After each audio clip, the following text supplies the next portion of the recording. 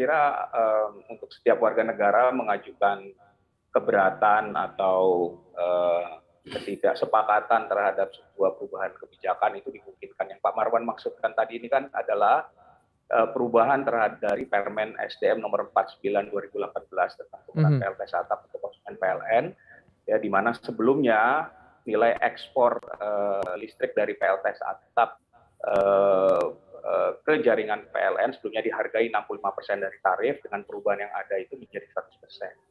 Nah, saya melihat, uh, saya menyimak surat-surat uh, isi dari surat yang disampaikan itu dan menurut saya sangat tidak berdasar. Yang pertama, menurut saya, men menurut hitungan kami bahwa dampak yang ditimbulkan dari ekspor tersebut itu terhadap sistem PLN itu sangat minim, ya bahwa PLN akan berkurang ya eh, dari sisi penerimaannya kalau ada penet, penetrasi cukup besar yang di mana dalam target pemerintah itu 3,6 gigawatt itu benar. Tetapi eh, pengurangan dari revenue itu sebenarnya bisa dikompensasi dengan manfaat lain juga yang diterima oleh PLN. Jadi sebenarnya secara ekonomi PLN tidak berdampak. Bahwa ada eh, kalau tadi disampaikan bahwa 100% eh, itu uh, nilai transfer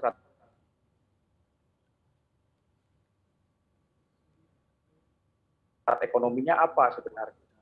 Karena yang di yang di yang di yang diekspor ke jaringan listrik PLN itu sebenarnya adalah ekses ya dari uh, listrik yang dihasilkan pada siang hari. Jadi kita kita kita tahu bahwa uh, PLTS itu menghasilkan listrik pada siang hari dan sebenarnya dengan dengan regulasi yang ada di Indonesia dengan skema net metering sebagian besar dari konsumsi eh, dari produksi listrik dari PLTS atap di siang hari itu dikonsumsi oleh pelanggan.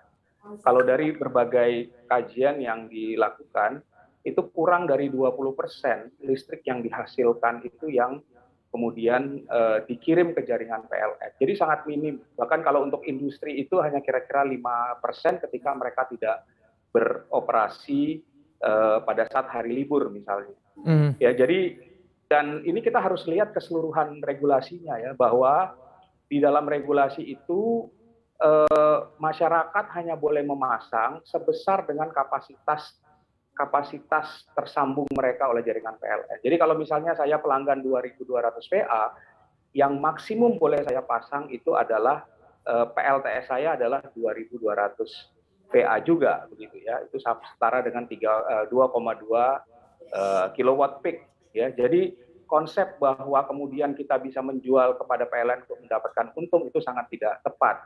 Yang hmm. berikutnya perlu diperhatikan kalau kita memiliki excess atau surplus itu akan diperhitungkan setiap bulan dalam bentuk net billing ya. Jadi berapa yang kita ekspor ke jaringan PLN, berapa besar yang akan kita konsumsi ya. Karena pada saat listrik eh, panel modul surya kita atau PLTS atap kita tidak menghasilkan listrik kita mengkonsumsi listriknya dari PLN pada malam hari kita mengkonsumsi listriknya dari PLN setiap bulan itu akan di, akan dihitung berapa besar ya uh, selisihnya.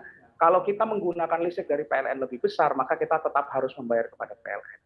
Kalau kita masih ada excess atau surplus setiap bulan, itu akan dihitung untuk setiap enam bulan. Akumulasi setiap enam bulan itulah kemudian akan dinolkan. Jadi kalau andai kata kita masih punya surplus pada akhir bulan ke-6, pada awal bulan ke-7 itu akan menjadi nol. Jadi akan di, itu tidak akan diperhitungkan.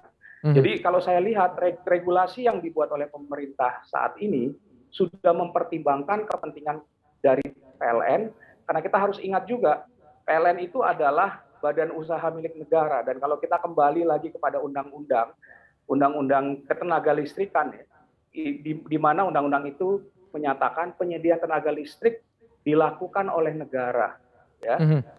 dan dan diselenggarakan oleh pemerintah ya dan pemerintah daerah. Kita harus ingat okay. itu bahwa kalau ada dampak ya terhadap PLN, maka negara juga yang akan terdampak, pemerintah yang akan terdampak. Untuk informasi lebih lengkap dan berita terkait, klik link deskripsi. Dan jangan lupa juga untuk download aplikasi CNBC Indonesia yang tersedia di Play Store dan juga App Store. Jangan lupa subscribe ya.